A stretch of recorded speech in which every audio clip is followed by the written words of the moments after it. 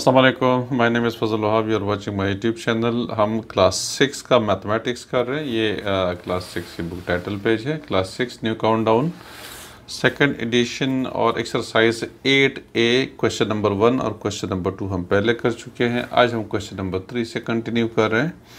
Question number three में आ, कहते हैं कि write the following is algebraic expressions हैं। ये नीचे जो वर्डिंग में दिया हुआ है हमने उसको अलजब्रिक एक्सप्रेशन में कन्वर्ट करना है। जैसे क्वेश्चन नंबर थ्री है, पहला पार्ट वन है the sum of p and q sum of p ये वर्डिंग है, ठीक है? Exercise eight A question number three part one the sum of p and q answer हो जाएगा पी प्लस क्यू पी और Q का sum बस इतना सा है, हमारे पास इसका आंसर आ जाएगा। P plus q the sum sum का मतलब प्लस पी और क्यू का सम तो पी और क्यू पी प्लस क्यू आपके पास आ जाएगा. इस तरह से नंबर टू वो ये कह रहे हैं कि the difference of a and b when a is greater than b ठीक है? तो इन्हें ए और बी का डिफरेंस निकाले, इन्हें माइनस करना है. जबकि ए बी से बड़ा है. जब ए बी से बड़ा है तो ज़ाहिर है बी को ए से माइनस कर देंगे तो हमारे पास आ जाएगा ए माइनस बी ठीक है? यानी the difference of a b बे ए और बी का डिफरेंस निकालना है और इसमें वो कह रहे हैं कि ए बी से बड़ा है तो ज़ाहिर है बड़े से छोटे नंबर को माइनस किया जाता है तो ए से हम बी को माइनस कर देंगे। इस तरह से पार्ट थ्री हमारे पास आ रहा है। वो है two third of x added to two y two third two third ये देखिए, ये टू थर्ड होता है। Two third of x. ये ये पढ़ा जाएगा two third of x added plus two y two y. This is the answer ठीक है? Two third of x, of multiplication आ जाएगी। टू थर्ड ऑफ़ एक्स तो two three, two upon three x, added plus two two y two y के साथ। तो कहते हैं कि टू थर्ड ऑफ़ एक्स को हमने टू वाई के साथ ऐड करना है। तो इसका जो अलजब्रिक एक्सप्रेशन बन जाएगा, वही हमारे पास आ जाएगा। इस तरह से पार्ट फोर अगर हम कर लेते हैं तो वो ये कह रहे हैं कि the product of m n n added to their sum the product of m n n क्या है? देखिए, ये एम ये एन ये प्रोडक्ट है। प्रोडक्ट का मतलब multiplication the product of m n मतलब एम मल्टीप्लाइड बाई एन इसको हम कहते हैं the product of m n n और आगे कह रहे हैं m n added to their sum added plus ये एडिड टू दियर सम यानी एम और एन का सम एम प्लस एन ये ब्रैकेट में डाल दीजिए। तो ये हमारे, अब देखिए ये the product of m n n added to the sum of m n n ठीक है? So the the product of m and n added to their sum मतलब sum of m plus n. तो ये part four part five the difference of 2p and 3q when 2p is less than 3q इसका मतलब कि 3q बड़ा है 2p छोटा है तो थ्री क्यू से हम टू पी को माइनस करेंगे और वो ये कह रहे हैं कि द डिफरेंस है तो माइनस कर। डिफरेंस का मतलब माइनस करना, ठीक है? सब्ट्रैक्शन कहलाता है। और जो थ्री क्यू बड़ा है तो थ्री क्यू से माइनस हो जाएगा टू पी टू पी छोटा है। तो ज़ाहिर है, बड़े से हम छोटे को माइनस करते हैं। तो ये difference of three p and two q हमारे पास आ जाएगा। Okay three times a added to four times b देखिए part six three times three times a ये थ्री टाइम्स ए कहलाएगा। Added to he added to 4 times B. 3 times A added to 4 times B, part 5. Part 7, sorry, part 6 था ये part 7 हमारे पास आ जाएगा part 7 the sum of M and the quotient of N divided by 2 the sum of M and the quotient of N divided by 2 ये इस तरह से हो जाएगा द सम ऑफ़ एम। ये एम और सम उसका the question of n divided by two, the question of n ये एन डिवाइडेड बाई टू, ये हमारे पास आ जाएगा, ठीक है? ये the question of n divided by two का मतलब हमारे पास ये आ जाएगा, ठीक है? एन अपॉन टू से जो क्वेश्चन आएगा, ये जहन में रख लें कि दो नंबर्स को अगर हम डिवाइड कर देते हैं, जैसे ये वाली थ्री डिवाइडेड देखिए ये थ्री डिवाइडेड बाई टू तो ये थ्री डिवाइडेड कहलाता है, ये टू हमारे पास डिवाइज़र कहलाता है। अब जब हम डिवाइड करेंगे तो टू वन ज़ा टू ठीक है? थ्री में से टू वन आ रहा है। तो ये वन क्वेश्चन कहलाएगा। ये वन जो है ना, ये क्वेश्चन कहलाएगा ये वाला। और ये रिमाइंडर कहलाता है। ये डिवाइडेंड डिवाइज़र क्वेश्चन और वन रिमाइंडर अब n और 2 का, n डिवाइडेड बाय 2 से जो आंसर आएगा वो क्वेश्चन कहलाएगा। तो हमने m को ऐड करना है question of n divided by 2 से तो इससे हमारे पास ये आंसर आ जाएगा। पार्ट एट हमारे पास आ रहा है। The question of a and b when a is divided by b the question of a and b when a is divided by b ये ए ये question of a and b कहलाता है, जब ए को बी से डिवाइड किया जाए। A is divided by b ये। ठीक है। Divide by b added to their product है। यानी added to their product a और बी का प्रोडक्ट ए और बी मल्टीप्लीकेशन हो जाएगी।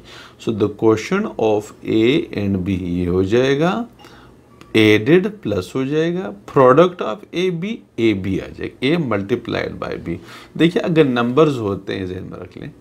टू तो हमें मल्टीप्लिकेशन का सिंबल लगाना होता है।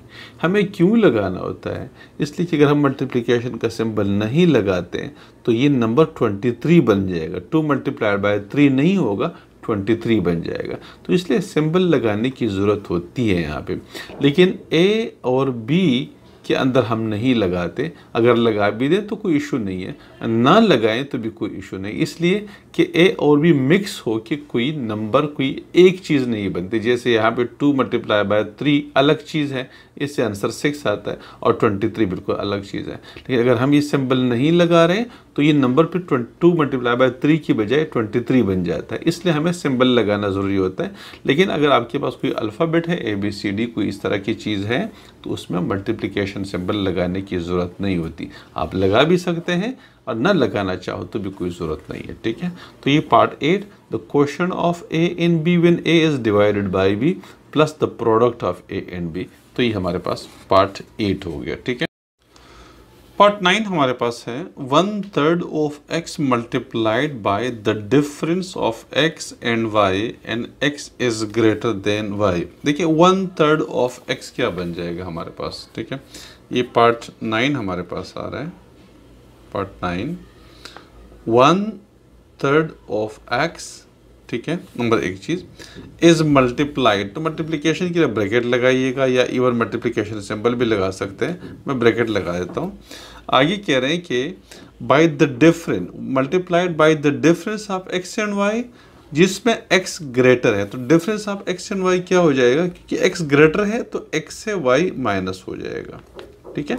ये difference of x and y हो गया, जिसमें एक्स ग्रेटर देन y है तो x माइनस वाई। तो देखिए, one third of x multiplied by the difference of x and y when x is greater than y तो ये पार्ट नाइन।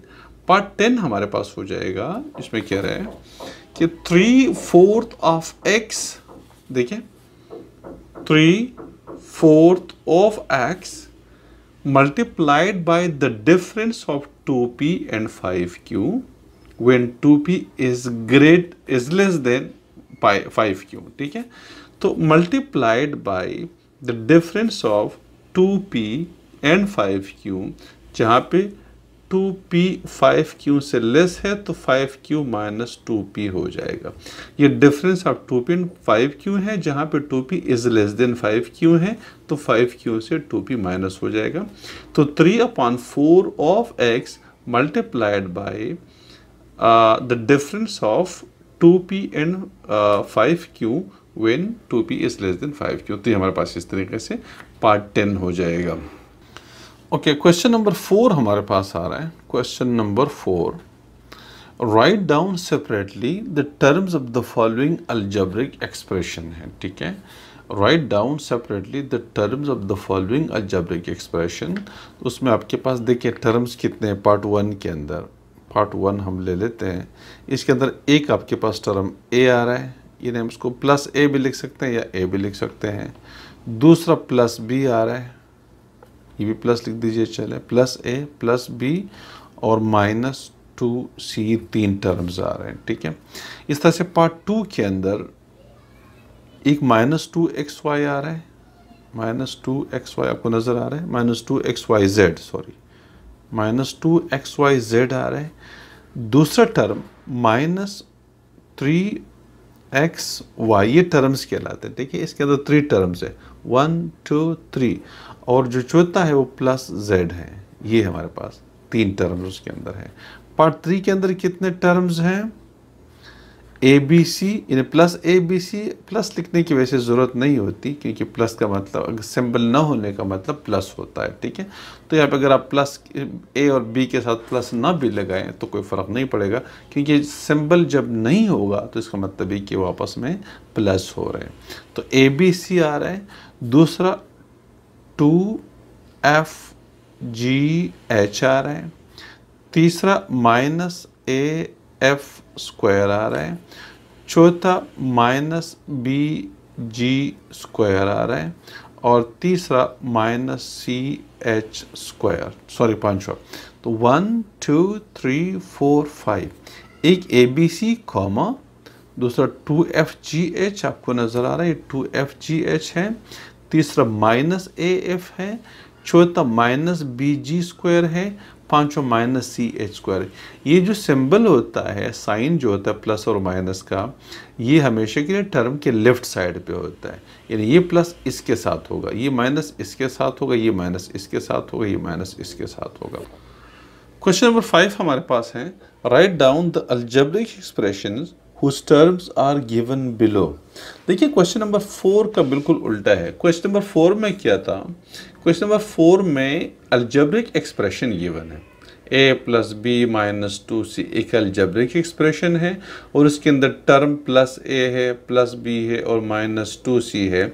यहाँ पे अच्छा दूसरे के अंदर जैसे minus two x y minus three x minus two x y z minus three x y plus z एक अल्जेब्रिक एक्सप्रेशन है, और उसके अंदर टर्म्स क्या है? Minus two x y z minus three x y और प्लस जेड ये उसके अंदर टर्म्स है।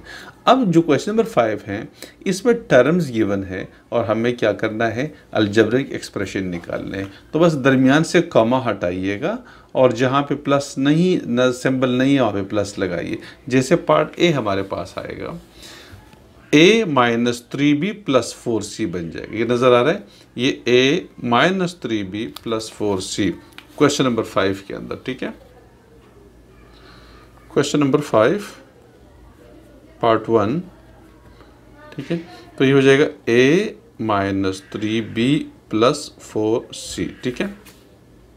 जैसे पार्ट टू हो जाएगा, पार्ट टू हमारे पास आ जाएगा, ये नज़र आ रहा है, minus five a b c minus seven b c d plus three a b d तो ये हो जाएगा minus five a b c minus five a b c minus seven b c d come हटाइएगा minus seven b c d b c d और plus three अब sign नहीं है तो इसका मतलब प्लस है कम हट जाएगा प्लस लग जाएगा।